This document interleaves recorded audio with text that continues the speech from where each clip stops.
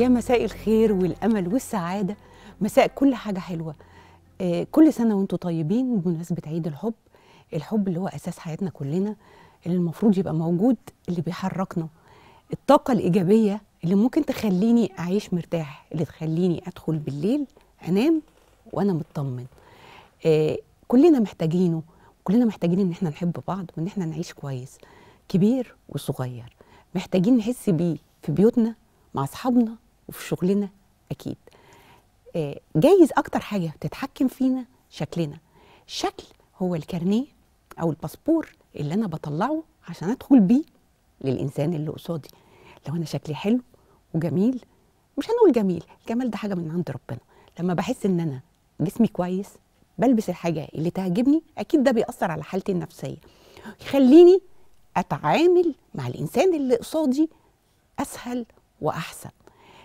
زي ما بيقولوا في أوروبا والدول المتقدمة بي break ال ice أو بيدوب التلج اللي بيني وبين اللي قصادي لو أنت أو انتي نفسك يبقى شكلك كويس الفقرة دي مخصوصة عشانك. هينورني فيها دكتور وليد علي عبد الفتاح أخصائي التغذية العلاجية وتنسيق القوام والعلاج الطبيعي وصانع البسمة حاصل على الماجستير الدولي من جامعة كولومبيا في التغذيه العلاجيه واذابه الدهون بالليزر أهلا يا دكتور أهلا وسهلا. إزيك يا دكتوره إزي حضرتك؟ منورني. ده سيادتك منوره دايما. قبل ما نبتدي كلامنا. معاك إيه رأيك نتفرج على الفيديو ده ونرجع. نتكلم عنه تاني؟ اتفضل يا فندم.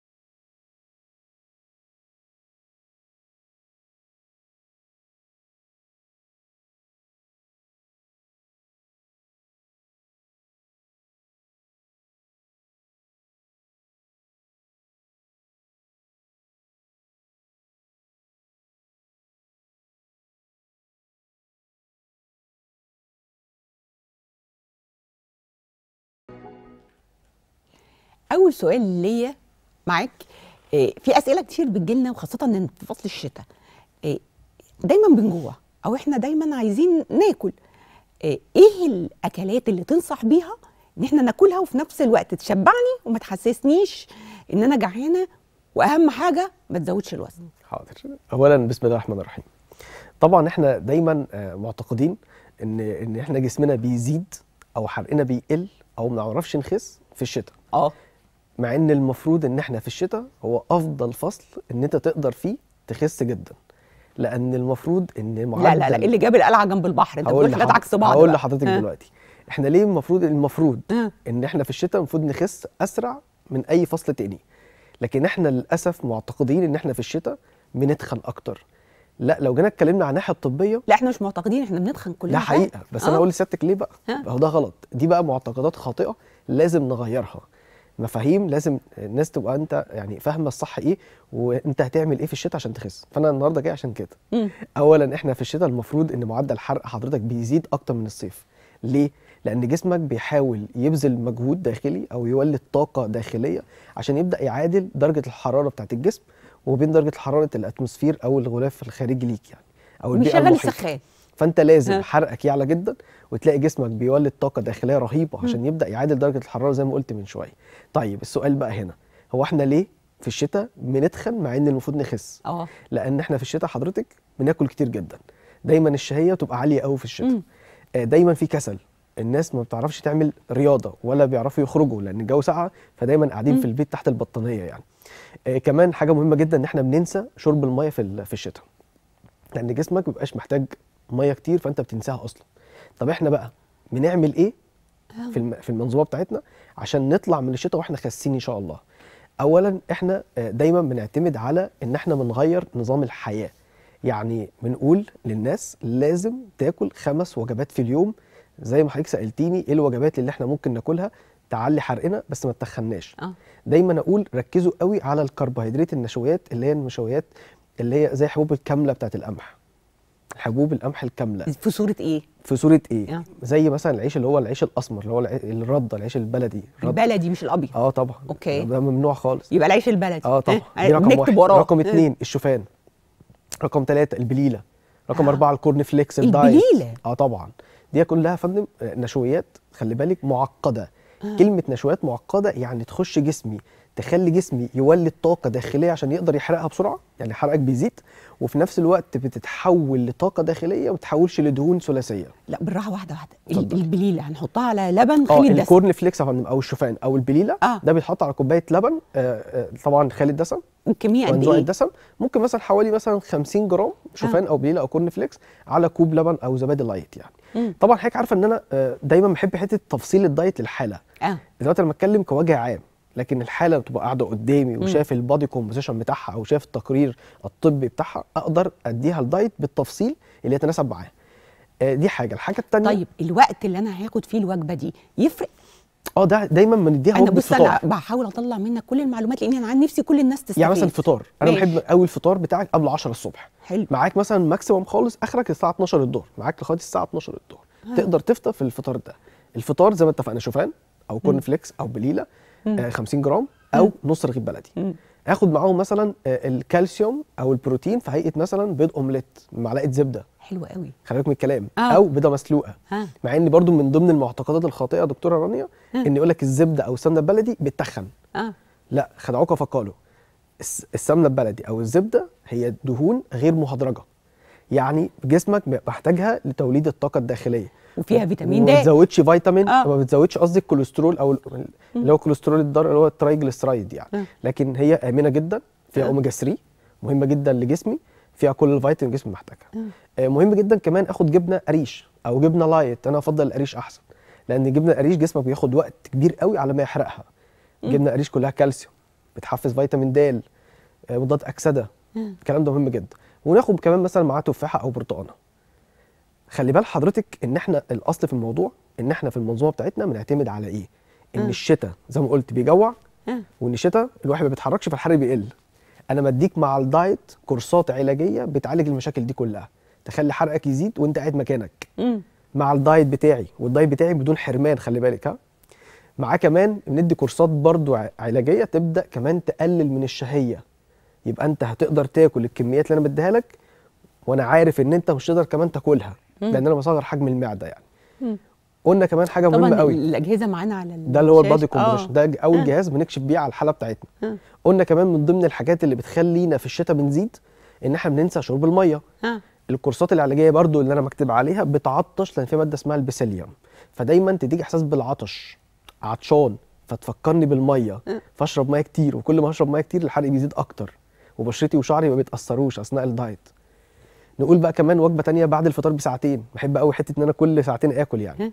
بعد الفطار بساعتين ممكن آكل سناكس وليكن تفاحتين أو برتقانتين. معاهم كوباية زبادي أو لبن light. لا ده دلع بقى. طبعا ده مفيش حرمان. هتيجي تقولي لي هو أنت ليه؟ يعني ما بتحرمش الناس؟ وبرغم كده بيخسوا معاك. آه. معادلة صعبة قوي لو جينا بصينا الأصل في الموضوع يا دكتورة رانيا من أحد أسباب السمنه أو زيادة الوزن أو تقليل معدل الحرق هو التوتر أو ال stress. خلي بالك ده بقى. ليه. بقى؟ لأن أنت مع التوتر ومع ال stress هرمون الكورتيزول بيزيد في جسمك جدا. طبعا. وهرمون ال- السعادة بيقل في جسمك جدا. فمعدل الحرق بيقل فمعدل الدهون بتزيد. أنا النهارده لو حرمت حد من الأكل على طول هرمون الكورتيزول هيعلى في جسمه لأن هيزعل وهيتوتر. الجسم ما بيحسش يعني الجسم ذكي جدا لما بيحس إن في جوع أو في حرمان على طول الكورتيزول بيزيد في جسمك. فهرمون الكورتيزول ده معناه إن معدل الحرق يقل فالدهون هتزيد. لكن أنا مدي أكل كتير هرمون السعادة في جسمك يعلى. فمعدل حرقك يزيد. فال mood الداخلي بتاعك يبقى كويس جدا والطاقة يبقى فيه طاقة إيجابية زي ما إحنا كنا قلنا في ال intro يعني. فده مم. بيدي power ليك إن أنت عندك أمل وطاقة إن أنت تلتزم برحلة التخسيس. فتوصل معايا اللي أنت عايزه وبدون حرمان. مم. مهم جدا وجبه الغداء أنا حابة تقولي ال- ال- الجهاز الفور دي ده اللي هو cryo آه. طبعا آه ده من ضمن الأجهزة اللي عندنا إحنا الحمد لله عندنا أكتر من 12 جهاز في كل فرع شوية لأن أنا أسمع إن جهاز هو ال cryo ده بيجيب من الأجهزة حاجات حلوة التقنيه العالية مم. جدا ده كمان الفور دي عندنا كمان دلوقتي الناين دي كمان آه.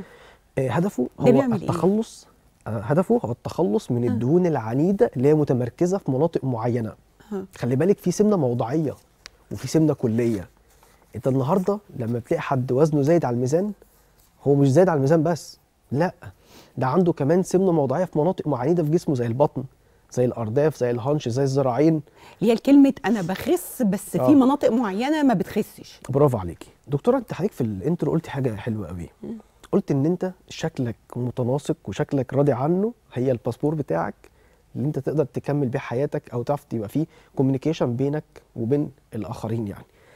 خلي بالك الشكل أهم من الوزن. آه طبعا. أنا النهارده لما حد بيديني كلمة حلوة عشان شكلي شكله خاسس ومتناسق بيديني طاقة إيجابية حلوة قوي بيديني power بحس إن أنا متفائل كده وبحس إن أنا شايف الدنيا حلوة شايف الدنيا وردي.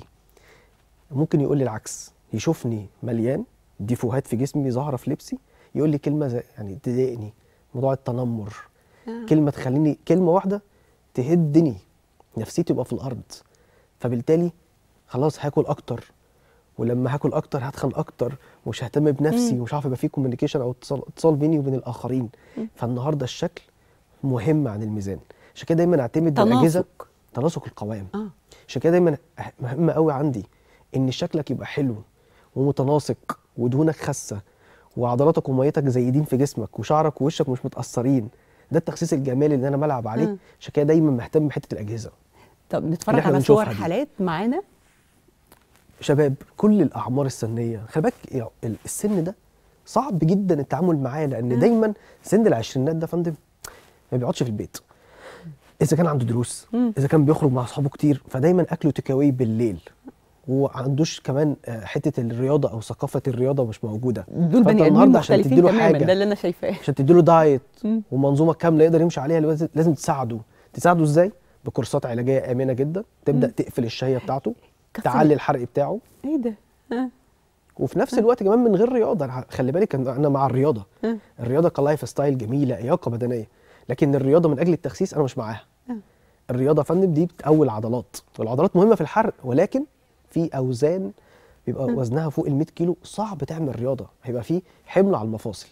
والناس أصلا خلي بالك اللي عندهم مشاكل في السمنة 90% منهم عندهم مشاكل في الخشونة. أيوه طبعا. فالنهاردة لما أجي أقول اعمل رياضة كتير. الخشونة هتزيد أكتر. يبقى أنت النهارده هتعالج لي السمنة ولا هتعالج لي الخشونة لا الأول إحنا نفقد الوزن وننزل دهون وبعدين نبدأ موضوع الرياضة إن شاء الله دكتور وليد إيه هي العروض اللي أنت هتقدمها لنا في عيد الفالنتاين حاضر. طبعا بمناسبة يعني عيد الحب طبعا. كل سنة وحضرتك طيبة وكل الشعب المصري وكل العالم بخير وكل العالم يحب بعض مم. حب بعض عشان ربنا يكرم الناس كلها الحب ده جميل بس إن. إحنا يبقى طالع من قلبنا قوي عشان كده إحنا عاملين عروض أكتر خصومات أكتر من 50% في كل السيرفيس أو كل الخدمات بتاعت العيادات بتاعتنا من ناحية الكشوفات من ناحية المتابعات على الميزان اللي هي الأسبوعية آه. من ناحية ال- الكورسات العلاجية من ناحية كمان جلسات اللي إحنا شفنا الأجهزة عليها. والجلسات 50% آه، تنسيق القوائم طبعا. كله ينسق عشان القوائم. في عيد الحب يبقى شكلنا كله حلو إن شاء إن الله شاء الله. إن شاء الله. منورني دكتور وليد علي شكراً. عبد. الفتاح أخصائي التغذية العلاجية وتنسيق القوام والعلاج الطبيعي وصانع البسمة شكراً. حصل على الماجستير الدولي من جامعة كولومبيا. نورتي يا شكرا دكتور وليد. شاكرين إيه أتمنى تكون الفقرة عجبتكم لسه لينا فقرات كتير مع صانع البسمة دكتور وليد. فاصل صغير قد كده وهرجع لكم تاني.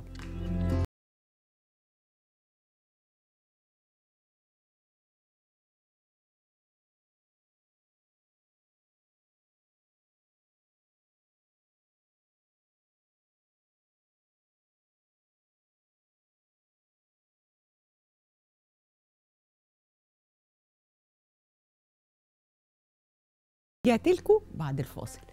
صعب قوي إن إحنا نكون قريبين من عيد الحب. كل سنة وكل الناس طيبين. كل الناس دلوقتي بتتكلم على إن المشاعر الكويسة وعلاقة الحب اللي بتبقى موجودة سواء اللي بتبقى موجودة بين اتنين متجوزين أو اللي بتبقى موجودة بين الأم وولادها أو حتى اللي بتبقى موجودة ما بين الأصحاب أو الناس اللي بتشتغل في أي مكان شغل بتأثر على إنتاجية الفرد وبتحول رد فعل البني آدمين لشيء مختلف تماما. الحب دوت أساس العلاقات الإنسانية. هو أساس اللي إحنا كلنا عايشين عشانه. مشاعرنا الكويسة هي اللي بتأثر على أفكاري وهي اللي بتأثر على ردود أفعالي. بتنورني النهارده. خبيرة الاستشارات والصحة النفسية جامعة عين شمس دكتورة ماري جرجس حاصلة على دكتوراه من جامعة ليدز بانجلترا أهلا بيك يا دكتور ماري أهلا أهلا بيكي إزيك؟ الحمد لله منورانا. كل. سنة وأنت طيبة وكل سنة وكل الناس طيبين. هو أنت طيب يا حبيبتي. الأول أنا حابة أسألك سؤال إيه إيه علاقة الحب بالحالة النفسية؟ طيب طب أهم حاجة هي الحب عشان نقدر إن إحنا نوصل للتوازن الانفعالي أو عشان نكون أشخاص أسوياء. لأن هرمونات السعادة أصلا رقم واحد فيها علشان يفرز هذه الهرمونات أو تفرز هذه الهرمونات عشان تعمل balance في ال- التوازن الانفعالي. إحنا طبعا عارفين هرمونات السعادة الدوبامين والسيروتونين. أم، حاجات مهمة جدا جدا رقم واحد فيها الحب. آه فيها ممارسة الرياضة إن إحنا ناكل أكل فيه كربوهيدرات كتير إن إحنا آه، نتأمل إن إحنا نعمل مثلا مساج ناكل آه، شوكليت الحاجات دي كلها okay بتعمل آه، إفراز هرمون السعادة وبيؤدي إلى السواء أو التوازن الإنفعالي أو إن بيحصل للجهاز العصبي آه، هدوء فبيقدر الإنسان إن هو يتصرف بطريقة صحيحة. لكن رقم واحد بقى من كل ده هو الحب. آه، المشاعر الحلوة آه، بين الأشخاص مش شرط الزوج والزوجة لكن أيضا الأطفال. آه، أنا علاقتي بابني علاقتي ببنتي علاقة آه، ببابا وماما. لما بيكون في راحة نفسية ده بيؤدي إلى آه، سلوكيات صحيحة ما مش بيؤدي لسلوكيات خاطئة. يعني إحنا لما بيجي لنا أطفال عندهم تشتت انتباه وفرط حركة ADHD رقم واحد بنقول للأم إن هو مفتقد الحب عنده فقر بيئي. الطفل لما بيحس إن مفيش فرط الحركة ممكن يكون نتيجة طبعا. إن هو مفتقد حب. آه. أصلا هو الطفل اللي عنده اي دي اتش دي بيكون محتاج حب كتير محتاج بوس كتير حضن كتير عشان بيكون عنده الهرمون بتاع ال- ال- الحب عنده بيكون قليل شوية لأنه هو بيتحرك كتير فبيبذل مجهود كتير فبيحتاج لده. فعشان كده إحنا بنقول إن الطفل ده عنده مشاكل سلوكية بسبب إن هو مفتقد الحب. لما بيكون في أي ستريس في الأسرة آه مشاكل زوجية وصراعات زوجية بنقول إن بيكون المشكلة رقم واحد في الاستشارات الأسرية لما الزوج والزوجة بيجوا لنا بنقول لهم رقم واحد إن في مشكلة في الحب اللي ما بينكم أو العلاقة الحلوة اللي ما بينكم.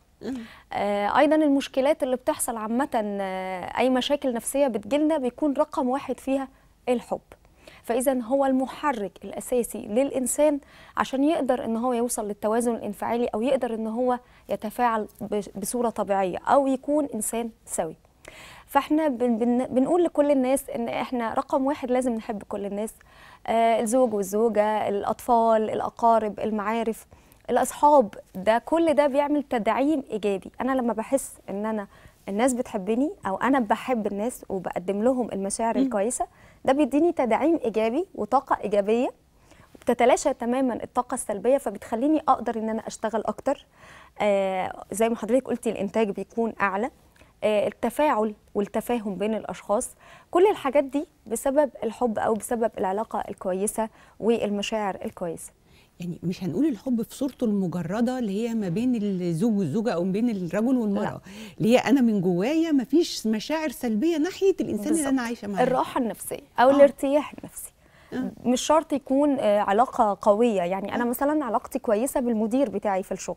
العلاقة النفسية المريحة دي بتؤدي إلى إفراز هرمونات السعادة بطريقة عالية جدا فبتؤدي للهدوء النفسي والاتزان الانفعالي مما يؤدي إلى السلوكيات الصحيحة. ليه دايما إحنا الشخص لما بيتعرض لموقف ممكن يكون يعني ستريس عالي قوي ونرفز جدا وبيوصل لمراحل صعبة؟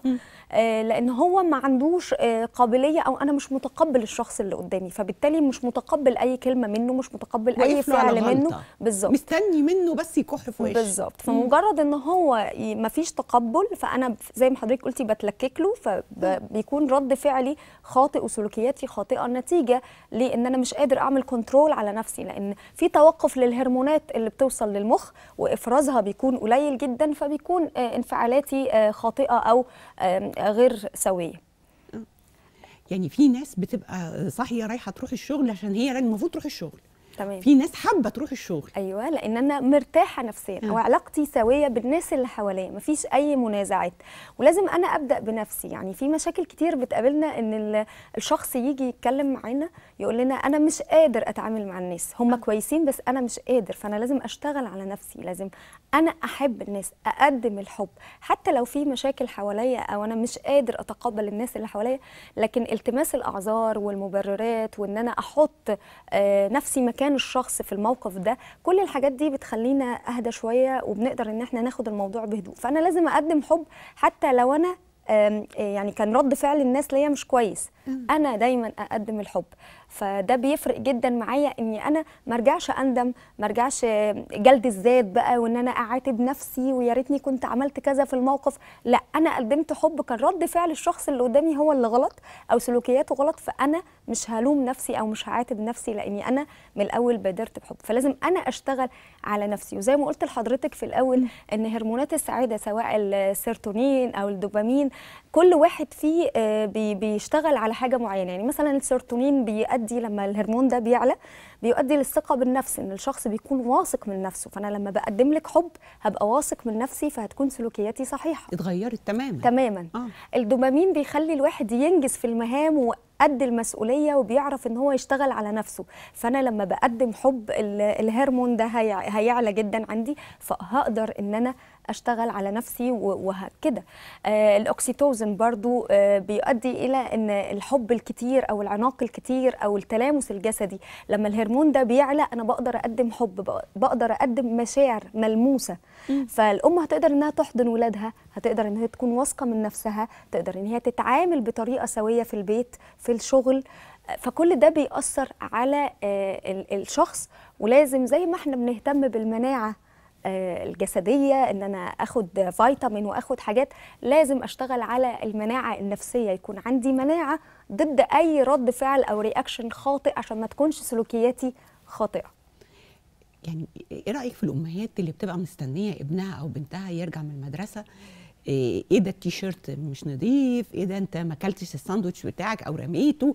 أو بتبقى مستنياه أو دايما بتلومه أو بتعاتبه على أي غلطة أو على أي حاجة هو بيعملها. طبعا ده سلوكيات خاطئة تمام لأن كل ده نصيحتك بيكون إيه للأم في التعامل مع أولادها دلوقتي خاصة إن إحنا في وقت المدرسة وكل الأمهات بتشد شعرها وبتطلع التنشن دوت أو شده الأعصاب على ابنها أو بنتها؟ قدمي حب ده رقم واحد إحنا بنقول. آه، احضني طفلك كتير واتكلمي معاه حتى لو انت بتعديه أو بتلوميه أو عايزة تديله نصيحة بلاش شغل الأوامر وخصوصا لو في سن المراهقة. دلوقتي سن المراهقة أصبح من الست سنين والثمان سنين ما بقاش آه، سن مبكر ست سنين؟ آه ست سنين إحنا بنخش في مراحل المراهقه فهو محتاج ان هو انت تقنعيه وتتكلمي معاه بالراحة وتكوني هادية جدا جدا عشان هو يتقبل منك الكلام.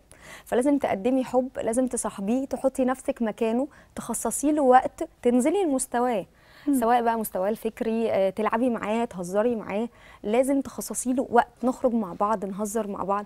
بلاش على طول يكون الأوامر والشخط والنطر. هيعمل الغلط مرة واثنين وثلاثه أنا آسفة جدا كلنا وإحنا صغيرين كنا بنخطأ كتير جدا وأهالينا كانوا بيعلمونا بطريقة ويكلمونا ويصاحبونا. فدلوقتي بسبب الضغوط ال- المستمرة على الأب والأم ما عندهمش طولة البال إن هم يقعدوا يكلموا ولادهم بس هم مفتقدين ده. إحنا عملنا بلاوي وإحنا صغيرين. بالظبط. أيوه إحنا لما بنقعد نفتكر المشاكل اللي إحنا كنا بنعملها. بالظبط. والأب والأم كانوا ب... آه كانوا بيعاقبوا كانوا بيضربوا كده بس عشان ما كانش فيه وسائل التربية الحديثة دلوقتي.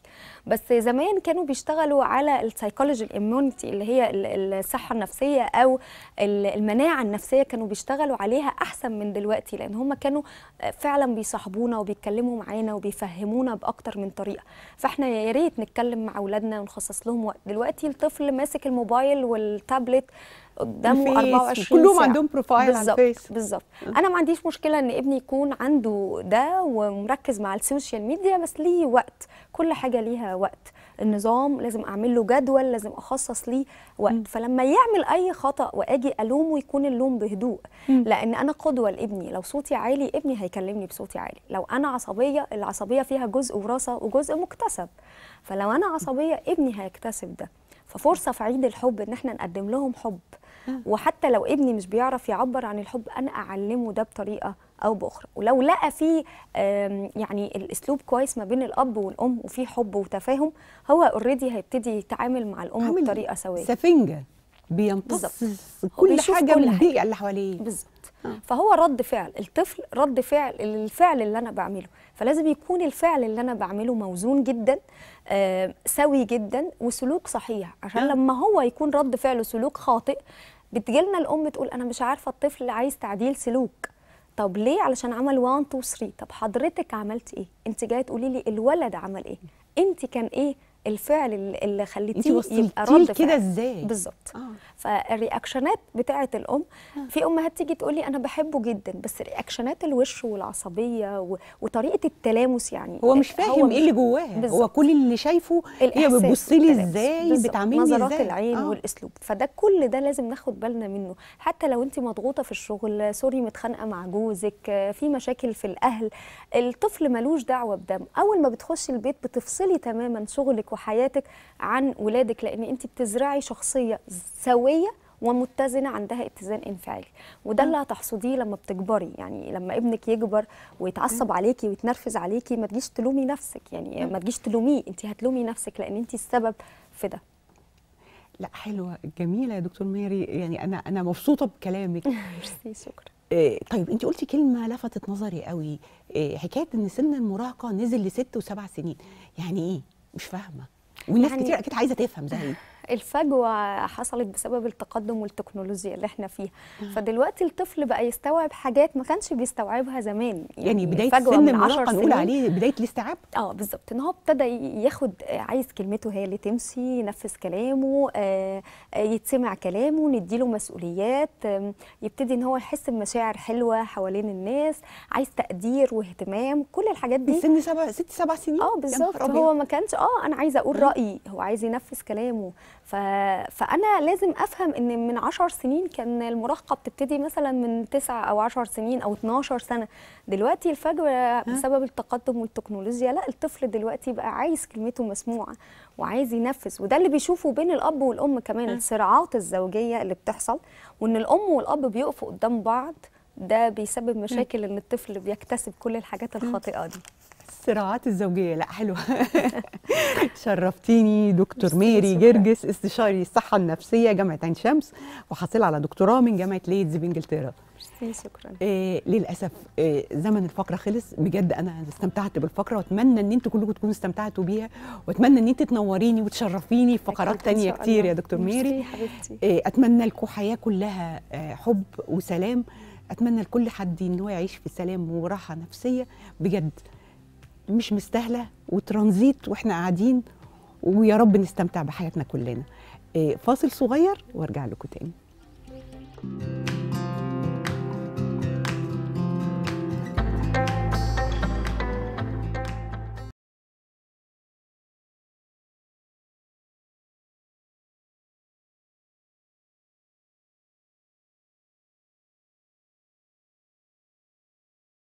بعد الفاصل. تحت عنوان رؤية الفكر المالي والإداري في عصر الرقمية لتحقيق التنمية المستدامة 2030 المؤتمر ال- العلمي الأول لكلية التجارة جامعة السادات. ده كان العنوان بتاعها. أقيم المؤتمر يوم 5 و6 فبراير اللي إحنا فيه الجاري بفندق الماسة بالعاصمة الإدارية. تحت رعاية الدكتور خالد عبد الغفار وزير الت- التعليم العالي والبحث العلمي. واللواء إبراهيم أبو لمون محافظ المنوفية. كان رئيس المؤتمر الدكتور أحمد بيومي رئيس جامعة السادات والدكتورة شادن معاوية نائب رئيس الجامعة للدراسات العليا والبحوث والدكتور عبد الحميد أحمد شاهين عميد كلية التجارة جامعة السادات ومقرر المؤتمر والدكتور أيمن عادل عيد وكيل الكلية للدراسات العليا ومنسق المؤتمر. المؤتمر الصراحة كان آه، فريد من نوعه بيقدم تدريب وخبرات كتيرة آه، علوم الإدارة والرقمنة والبحث العلمي حصل فيها تطور كتير. وأي آه، حد بيشتغل في المجالات التجارية أو عنده مشروع تجاري أو داخل ينافس لازم يكون على دراية تامة بأحدث الوسائل المفروض يستخدمها. هنتفرج على التقرير من المؤتمر ونشوف فقرة المطبخ بتاعتنا بعديها. واشوف وشكم على خير.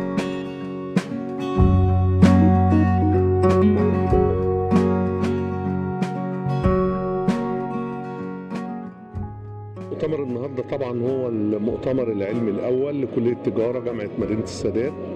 والحقيقة آه، يعني الكلية رأت إنه التحولات التي تحدث في مصر من جميع في جميع الاتجاهات آه، تستلزم إنه الكلية تؤدي دورها في آه، عمل مؤتمر. علمي وبحثي حول رؤية الفكر المالي والإداري في عصر الرقمنة لتحقيق التنمية المستدامة 2030.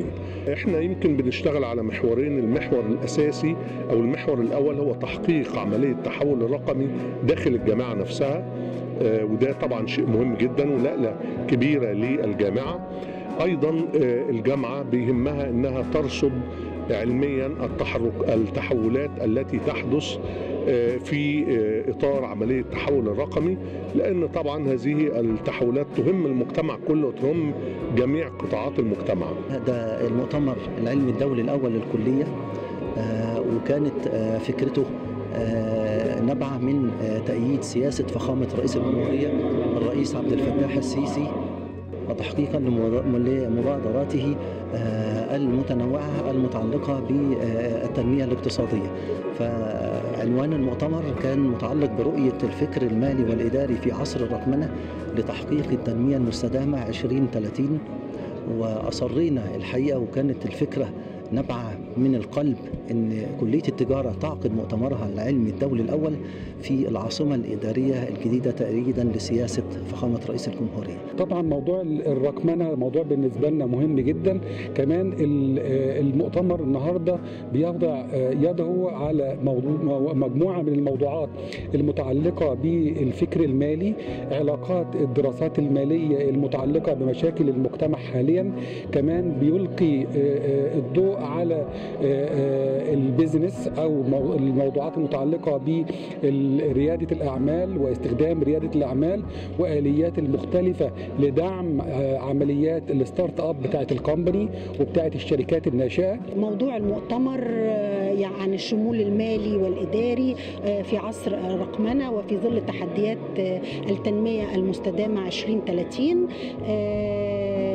نتصور أن اختيارنا لل- للعاصمة الإدارية الجديدة لنقيم عليها المؤتمر أنه آه، يعني له سبب قوي أن إحنا في ظل آفاق التنمية والتحديات والمشاريع العملاقة في العاصمة الإدارية فلا بد أن تعقد مثل هذه المؤتمرات لتكون هناك التوصيات التي توضع أمام المسؤولين وصانعي القرار وهو ده دور الجامعات.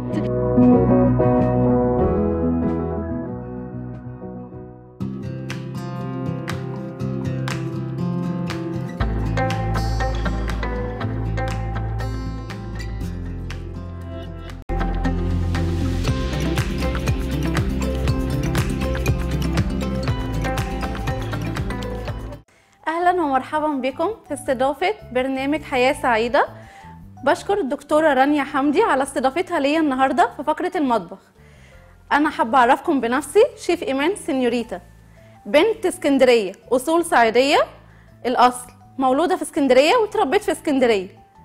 بعمل إيه؟ فتحت مشروع صغير شهرت بيه في اسكندرية. وهعمل لكم النهارده خطوات بسيطة بكل طرق سهلة.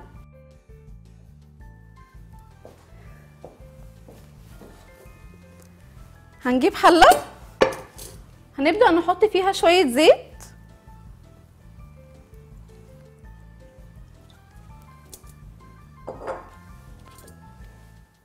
وطبعا عشان إحنا مشهورين في اسكندرية بالأكلات البحرية فأنا هقدم لكم أبسط حاجة ممكن تتعمل.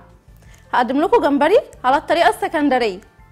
هنكون حاطين الزيت على النار هنقطع بصل هنحضر فلفل جوليان. أوكي؟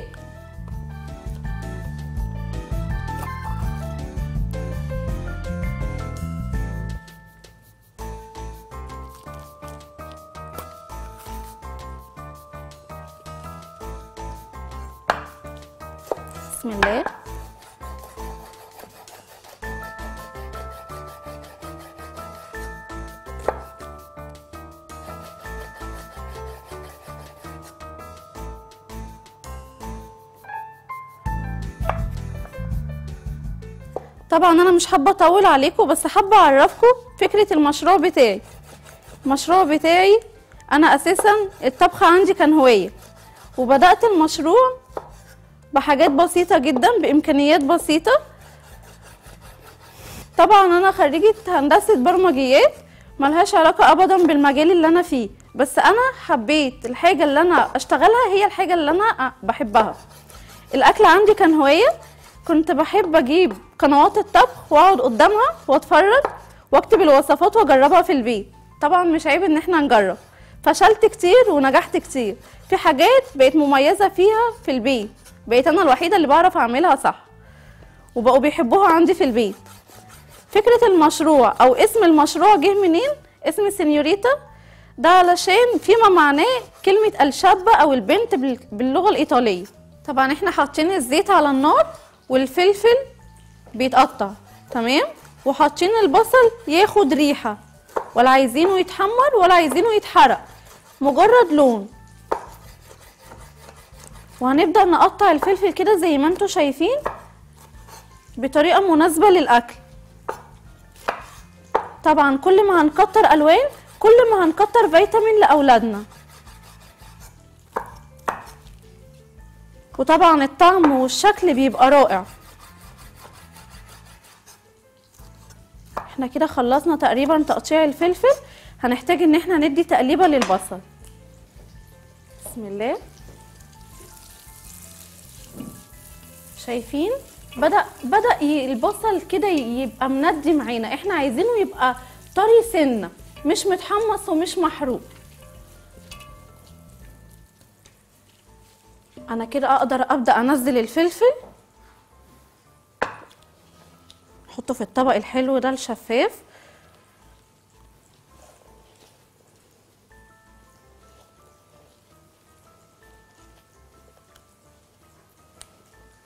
بس وهنبدأ بقى ننزل بيه واحدة واحدة.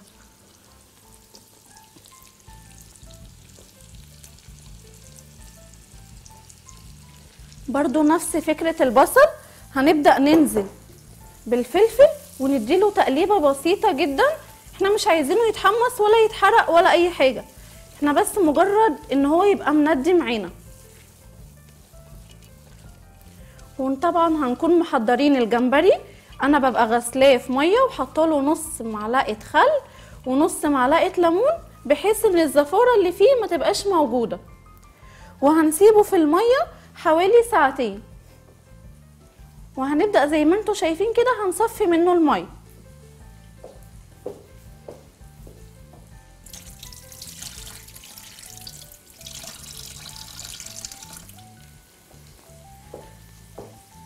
بسم الله.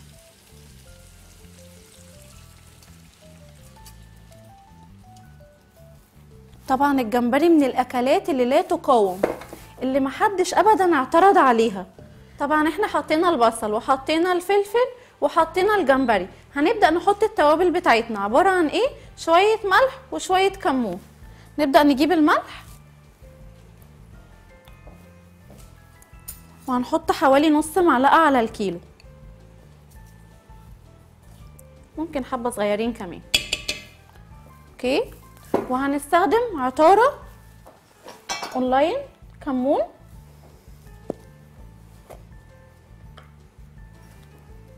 طبعا ريحتها فظيعة وجميلة جدا ما شاء الله يعني. ومفيش مانع لو نستخدم كمان معلقة توم مفروم. ده كده توم إحنا فرمينه هنبدأ نحط منه معلقة.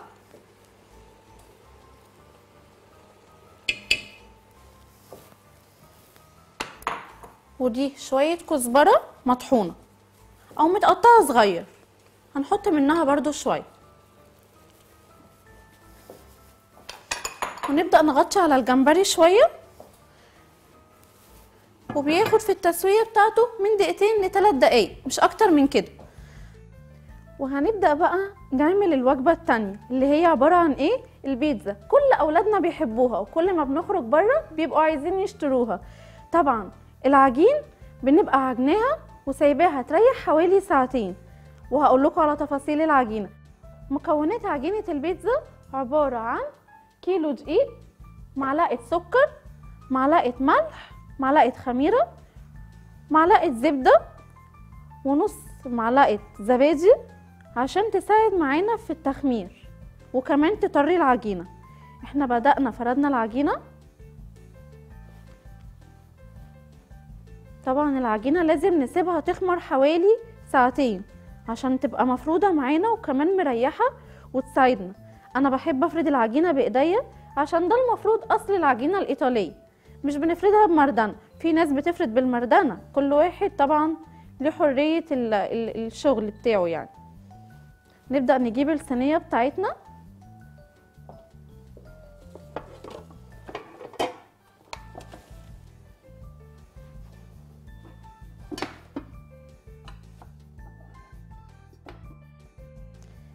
هنبدأ بقى نحط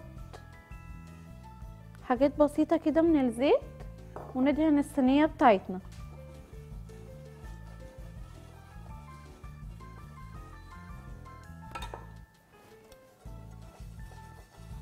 ويا سلام بقى لو كمان يبقى زيت زيتون.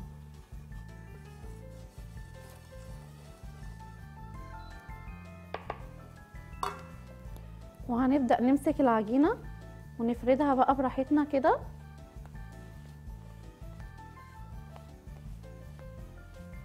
فردت معانا وبقت جميلة اهي إيه رأيكم؟ وهنسكنها في في الصينية بتاعتنا على على المقاس بالظبط.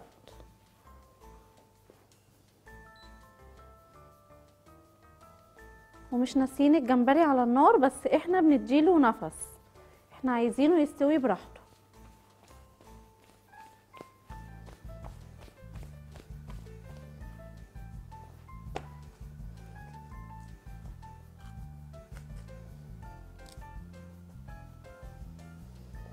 نبدأ بقى نبص على الجمبري.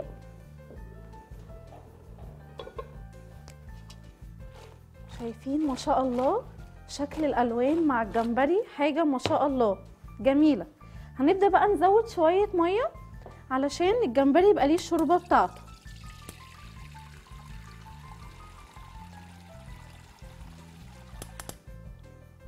طبعا الناس اللي بتحب السبايسي تقدر تزود شطة أو سبايسي فلفل حامي دي حاجة براحتنا.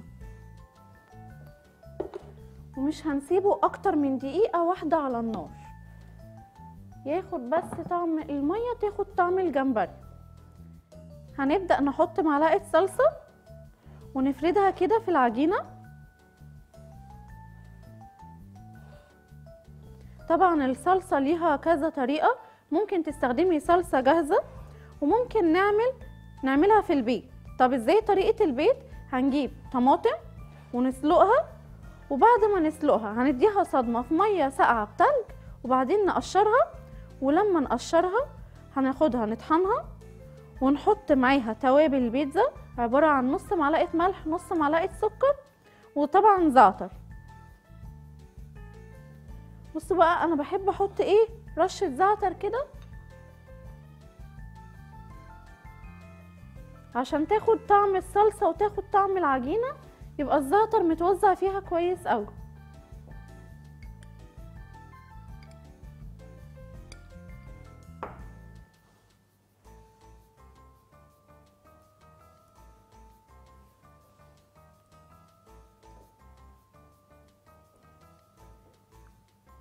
بعدين كملنا طريقة الصلصة إحنا هنحطها على النار تاخد نص تسبيكة مع بعد ما نقلي التوم. هنقلي نص معلقة توم بسيطة ونحط عليها الصلصة بتاعتنا.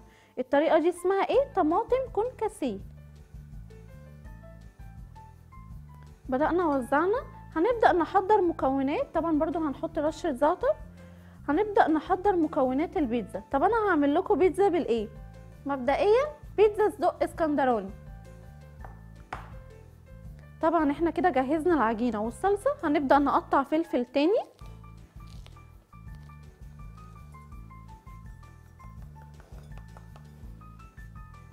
أنا بحب أستخدم جدا الفلفل الألوان في كل الحاجات اللي بشتغلها.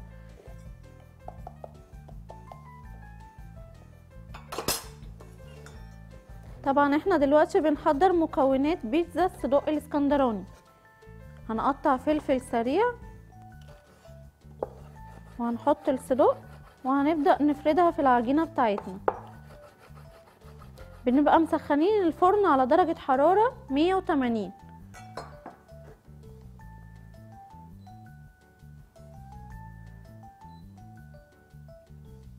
طبعا الألوانات بتدي شكل جميل جدا للبيتزا وكل أولادنا وأط- وأطفالنا بيحبوه.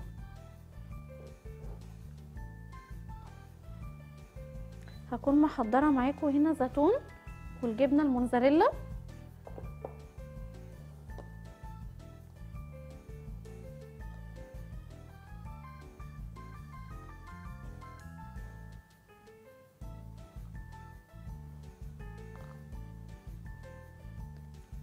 بتوزعي بقى الصدق في كل. في كل الجناب بتاعة البيتزا ما بنخليش أي حتة فاضية. عشان كل قطمة بيتزا يبقى فيها كل المكونات. وهنبدأ نحط ال- الموزاريلا بتاعتنا وأي نوع جبن عندك تحبي تزوديها زوديها في طبعا شيدر ممكن نزود جبنة شيدر على الوش ممكن جبنة كيري. دي حاجات كلها براحتنا. طبعا جبنة تركي أي حاجة تحبي تزوديها عندك في البيت زوديها. إحنا بنعمل الحاجات اللي هي ال standard بتاعتنا أي زيادات تانية دي براحتنا. قوي طبعا إحنا حاطين طاسة صغيرة على النار عشان نحط فيها مكونات ال seafood طبعا بيتزا ال seafood مش بنحط ال- المكونات فيها نية هنحط بقى شوية زيت.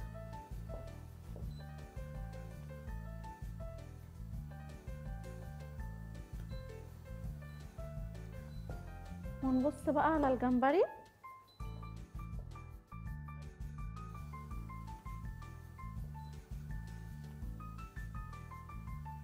وطبعا إحنا هنعمل الكبدة الإسكندراني بطريقة الإسكندرانية. الكبدة ما بتتغسلش.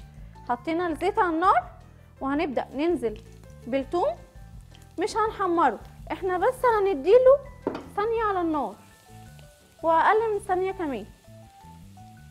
وهننزل على طول بالكبده بتاعتنا.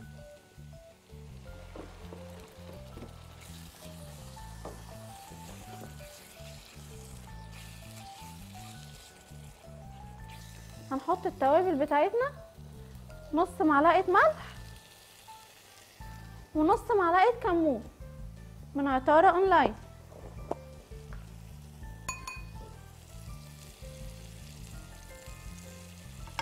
بيحب السبايسي هيزود زي ما هو عايز.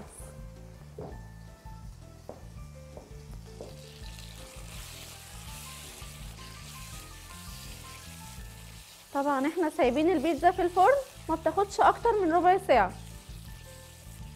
والكبدة من الحاجات اللي مش بتطول.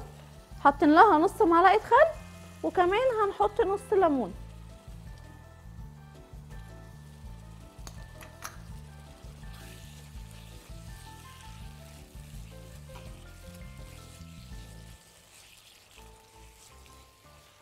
شايفين شكلها بقى حلو إزاي؟ شكل الكبده مش لازم تتحرق ومش لازم تشد مننا. وبتفضلي إيدك فيها علشان تستوي كلها زي بعضها. ما يبقاش جزء مستوي وجزء لا. طبعا إحنا بنقطعها تقطيعة معينة مش بنعملها شرايح. الاسكندرانية معروفين بالطريقة دي جدا. لما تكون الكبده كده نص سوا فهنبدأ نقطع الفلفل كده هنزوده عليها. الفلفل اللي إحنا مجهزينه ومتقطع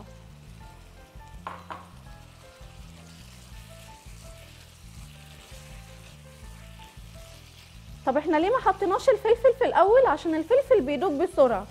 وإحنا عايزين يبقى فيه حتة الخربشة.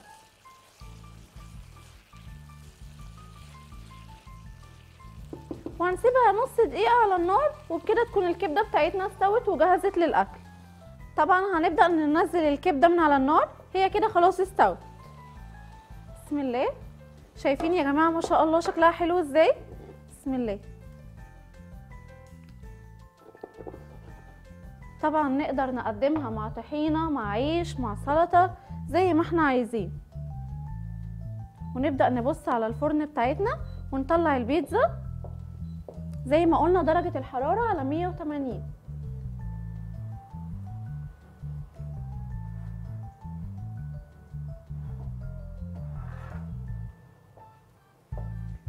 تعالوا بقى شوفوا. بيتزا seafood وجمالها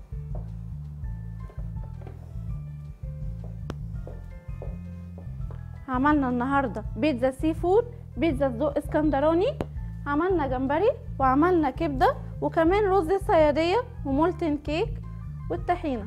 كنت سعيدة جدا بفقرة المطبخ بتاعت برنامج حياة سعيدة.